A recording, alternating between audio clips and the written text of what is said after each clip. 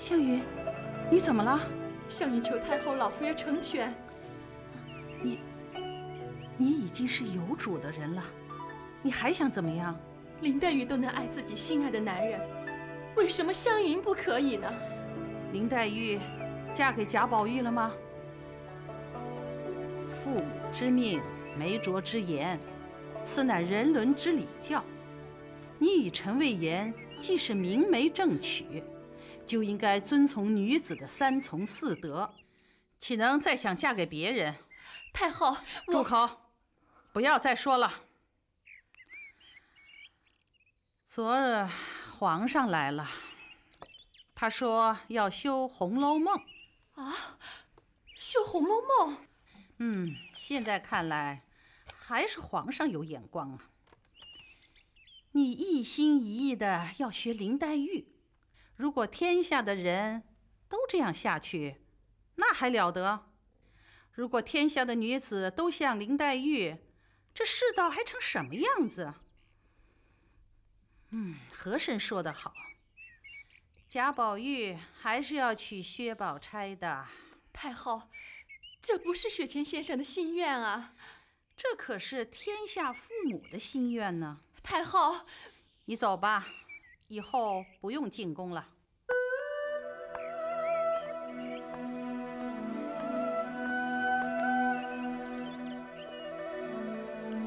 皇上，那纪晓岚勾引陈魏元的夫人。有辱大臣的声誉。陈魏元的夫人，对呀，那陈夫人已经住进纪府了，这成何体统？这传说之言不可轻信。以纪晓岚的为人，他不会做那种事。皇阿娘所言极是。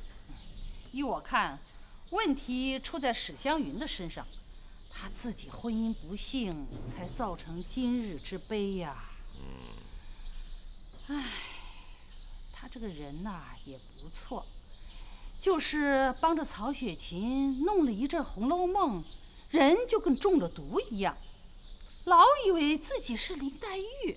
依皇额娘之见，此事应如何处置才对啊？湘云是书读多了，这女人嘛，终归是要回到丈夫身边的，别让人家笑话。时间久了也就过去了。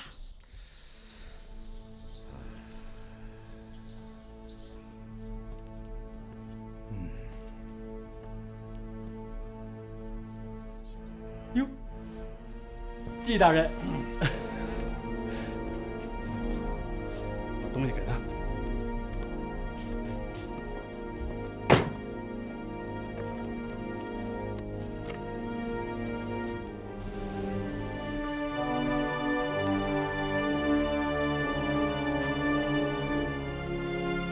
这画都是你的了。季先生，真多情啊！你少说废话，还不快点写休书？好，小姐，我马上就写。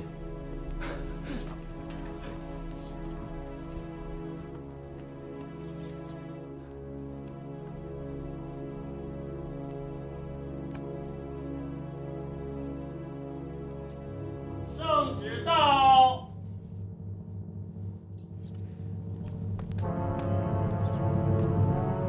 陈魏元，陈夫人听旨。草民陈魏元听旨。陈夫人，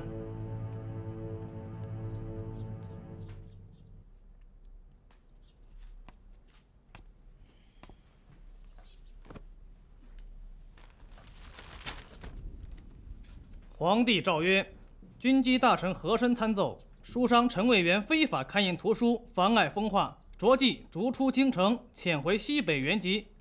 陈陶氏身为人妻。一并遣返，钦此。谢恩。陈老板在。太后要我转告你，男子汉大丈夫，好好照顾自己的夫人，如有亏待，太后绝不宽恕。是，是傅大人。太后也有一句话要我转告夫人：女子三从四德不可忘记。季先生，恭喜啊！皇上任你为文渊阁直阁侍兼兵部右侍郎，请季先生即刻入宫谢恩吧。